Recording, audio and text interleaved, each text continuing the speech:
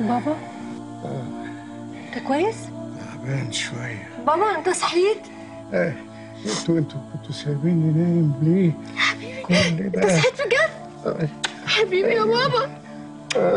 حبيبي انت صحيت بجد؟ كفاية كفاية. يا هبة أنا أنا أنا أنا نمت كتير.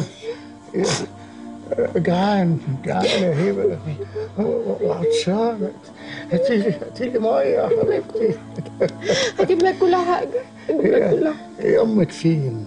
ها؟ أمك فين يا حبيبتي؟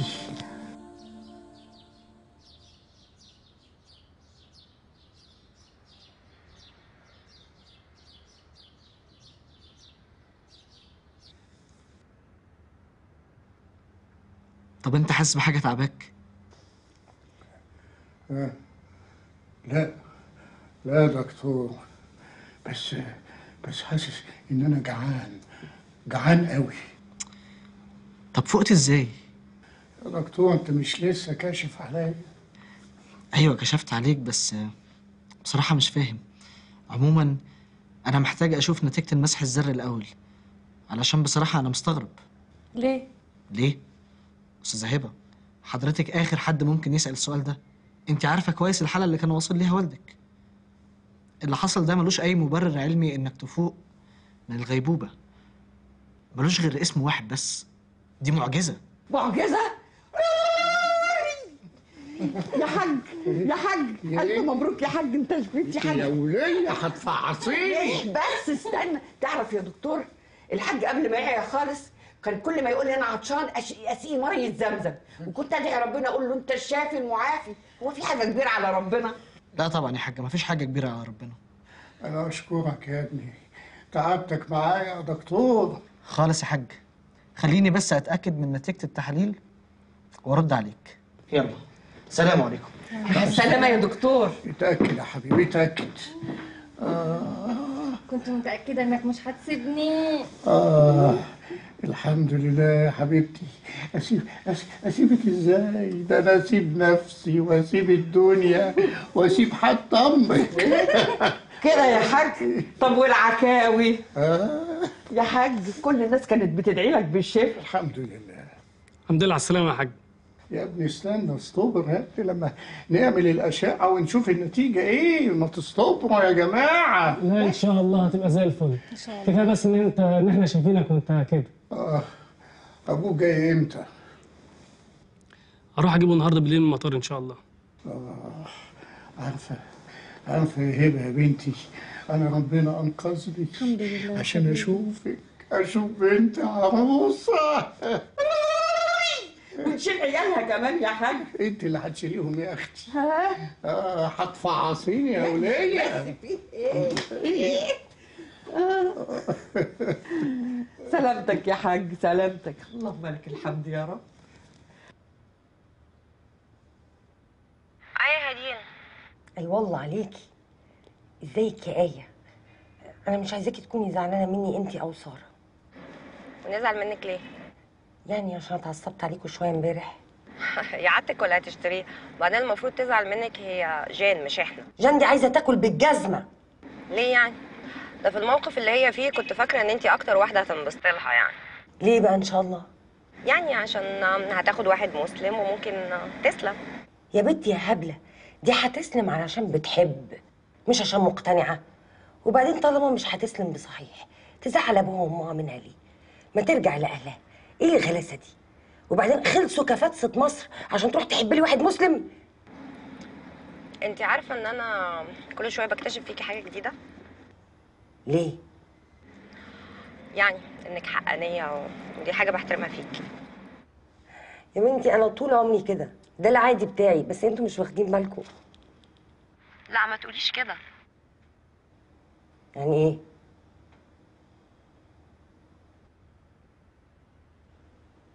طب بقول لك إيه؟ انت مال صوتك؟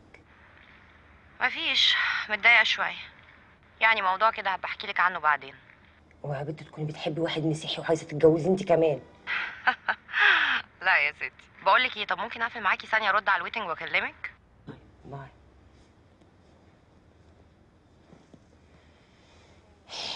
أهلا. الحمد لله على السلامة يا راجل يا طيب. الله يسلمك. تعبتك معايا يا بنتي. إيه الكلام بقى غلس ده يا عم محمد؟ مش هرد عليه الظاهر إن العملية أثرت على حاجة جوه هنا كده. انت ليه دفعتي الفاتورة؟ مش هرد عليك انت كمان. كتر خيرك يا بنتي. جرى إيه يا عم محمد؟ هو بقى في بين الأهل الحاجات دي؟ يلا بينا. يلا عشان أوصلكم. قومي. قومي. قومي باللي باين. ده قومي. جان حبيبتي ممكن تاكلي لا يا سارة أنا مش قادرة بجد. كلي بس عشان نعرف نقعد نتكلم مع بعض. لا أنا بشرب قهوة. عشان خاطري عشان خاطري بليز صدقيني يا سارة مش قادرة. انت مش رايحة الشغل طبعا مش كده؟ لا. أصلا نزلت بدري. وقفلت تليفوناتي أنا مش ع- مش عارفة أتكلم مع حد. مش عارفة أتكلم مع مصطفى. هتفضلي كده يعني.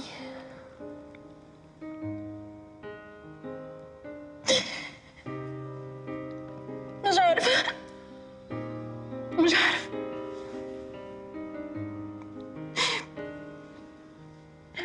أنا حاسة إني بتقطع. عمالة أتقطع ما بين أهلي وما بين ديني وما بين حبي ليه. من اول مرة أحب. أول مرة يا سارة أحب.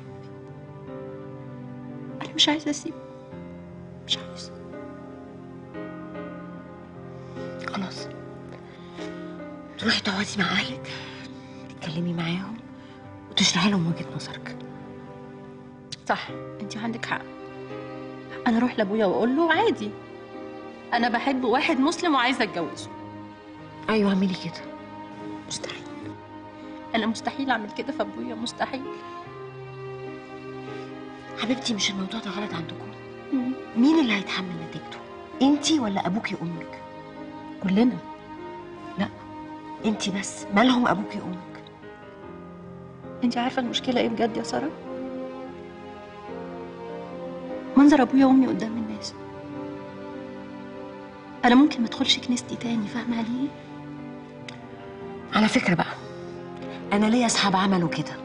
منهم اللي سافر بره ومنهم اللي عاش هنا على فكرة. والبنت اللي عملت كده أكيد أهلها ما عرفوهاش تاني. معرفش أنتي عايزة تعملي إيه؟ يا ريتني أعرف. ما أعرفش. أوكي. جان. لو انت شايفة إن مصطفى يستاهل بجد اتجوزي وسافروا. لو مش هتقدري تعيشي هنا. لو مش هتقدري تعملي كده روحي قولي له أنا مش هقدر أكمل مش هقدر أعمل كده. القرار في إيدك انت. وبعدين ربنا هو اللي بيحاسب مش الناس ولا ابوكي وامك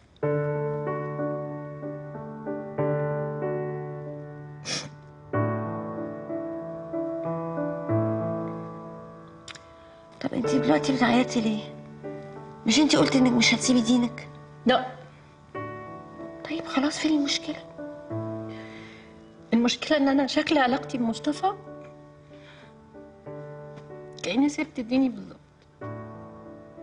جان انت ليه دخلتي في العلاقة دي من الأول؟ بدل انت عارفة إنك مش هتقدري تكملي. علشان دي حاجة مش بإيدي.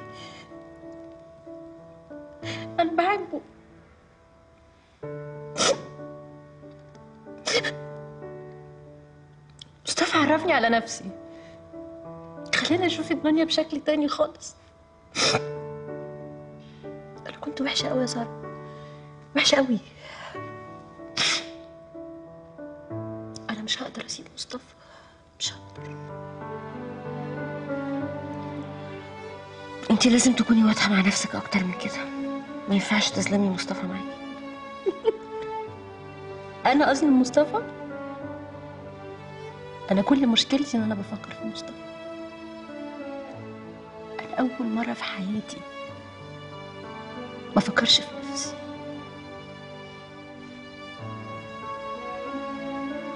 أنا عايزة أتجوز.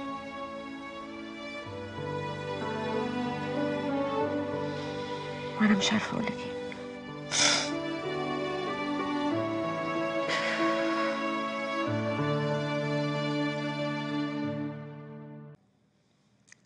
مساء الخير. أهلا بيكم. أهلا بيكم في حلقة جديدة من برنامج حمزة. اصل أنا عندي جدا. آه، طبعا أنتم مستغربين الشكل. أنا قلت لهم أنا مش عاوز بلاتو تاني والحقيقة بمر بوعكة صحية خفيفة كده. أشكركم. فمش عاوز أعمل البرنامج في البلاتو عاوز أعمله في البيت. وقلت لهم إيه رأيكم نسميه بيت حمزة؟ قالوا لي لا بلح. مش عارف يعني إيه بلح. أنا بحب البلح جدا. والبلح دي يعني حاجة وحشة؟ اللغة الجديدة. قلت لهم طب إيه؟ قالوا لي نفضل شنطة حمزة. قلت لهم لا. حمزة فعتس لا. فخليته حمزة من غير غرور المهم في الموضوع حمزة. أهلا بيكم. النهارده هنتكلم عن موضوع إن شاء الله يعجبكم. أنا واقف تحت إيدي دراسة غريبة شوية. هقول لكم وأنتوا فكروا معايا. الدراسة دي معمولة عن فكرة نقل القلب من جسم لجسم اللي هي عملية زراعة القلب. وكانت بتتكلم عن شاب في أمريكا من متسلقي الجبال مات في حادثة وكان موقع على وثيقة الموافقة على نقل قلبه لشخص محتاجه لو هو مات يعني. وكان فعلا في شاب في إحدى المستشفيات قلبه تعبان جدا ومحتاج عملية نقل قلب. طبعا عارفين البلاد دي كلها حاجات منظمة واللي محتاج عملية معينة لدور في قوائم التبرع. فتصادف إن هذا الشاب يتنقل له قلب متسلق الجبال ده. مع إن قلبه تعبان من زمان وعمره ما مارس أي رياضة. المهم اتعملت العملية ونجحت. وبعد سنة تقريبا الشاب اللي ما كانش بيمارس أي رياضة طول عمره ابتدت حاجة تشده للرياضة. ومش أي رياضة. تخيلوا رياضة تسلق الجبال. وكمان إيه؟ بعد خمس سنين أصبح من أبطال تسلق الجبال زي صاحب القلب الأصلي. طبعا الظاهرة دي العلم وقف قدامها ولسه بيدرسها لغاية وقتنا هذا. سبحان الله. فعلا في الدنيا وفي أجسامنا وحياتنا أسرار مهما حاول البشر يفسرها بيعرفش أبدا. إلا إذا ربنا سبحانه وتعالى سمح بده. أما اللي أنا استغربته إن إحنا كمصريين أكتر ناس المفروض نفهم موضوع القلوب ده. تسألني وتقول لي إزاي؟ أقول لك إحنا أكتر شعب عنده أمثال شعبية. كلنا عارفينها من زمان. بتتكلم عن القلب وجمل مشهورة وحكم مصرية. زي فلان قلبه أسود وما بينساش. مع إن النسيان بيجي من العقل لكن دي حكمة. وربط كلمة القلب بحاجات كتير زي فلان قلبه أبيض يعني راجل طيب وبيعفو عند المقدرة. وقلب الأم ورقته وقلب الأسد للشجاع. والقلب ما يريد واللي قلبه مجروح واللي قلبه حجر.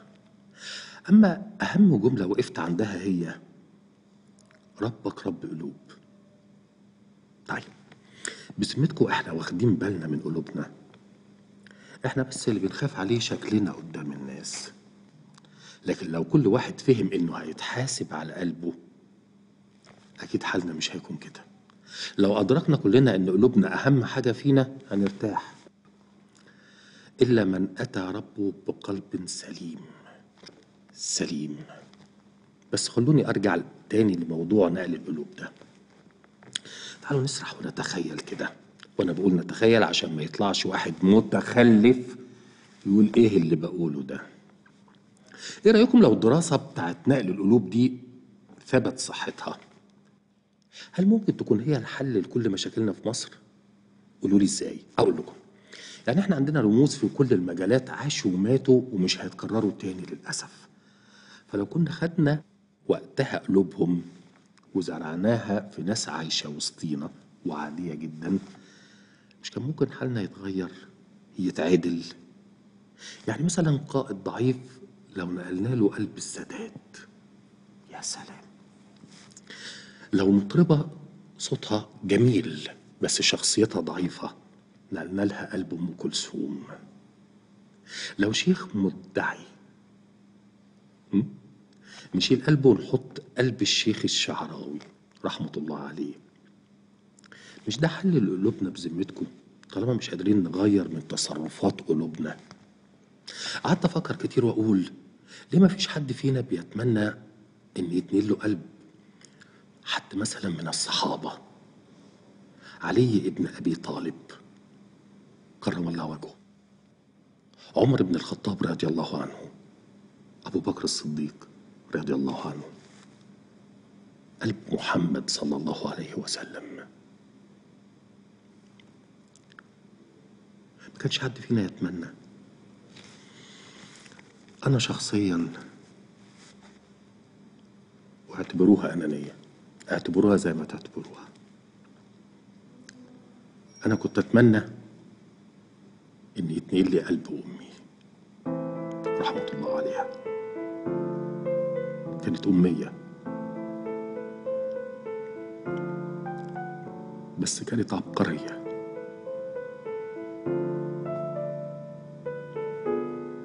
أنا متشكر. تصبحوا على خير. منصور بيه. عايز أعرف ال feedback عن الشغل اللي وصل لكم مننا. وأحب أعرفك على الأستاذ حسين ال creative director في الوكالة بتاعتنا. هو بس كان واخد أجازة لكن هو مطلع على كل حاجة وصلت للشركة بتاعتكم. الحقيقة أنا مستاء جدا من الشغل اللي اتبعت ليه بس كده يا فندم؟